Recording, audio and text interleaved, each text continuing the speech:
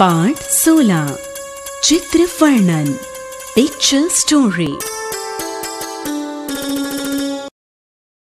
किसी भी चित्र, दृश्य को देखकर मन में जो भाव या विचार उठते हैं, उन्हें एक क्रम में सरल, शुद्ध और स्पष्ट भाषा में लिखना चित्र वर्णन कहलाता है। क, ऊपर दिया गया चित्र मेले का है। ख, मेले में लोग घूम रहे हैं। ग, मेले में अनेक प्रकार के खिलौने एवं वस्तुएँ बिक रही हैं। घ, मेले में झूला भी लगा है। न, बच्चे मेले में गुब्बारे वाले से गुब्बारे खरीद रहे हैं।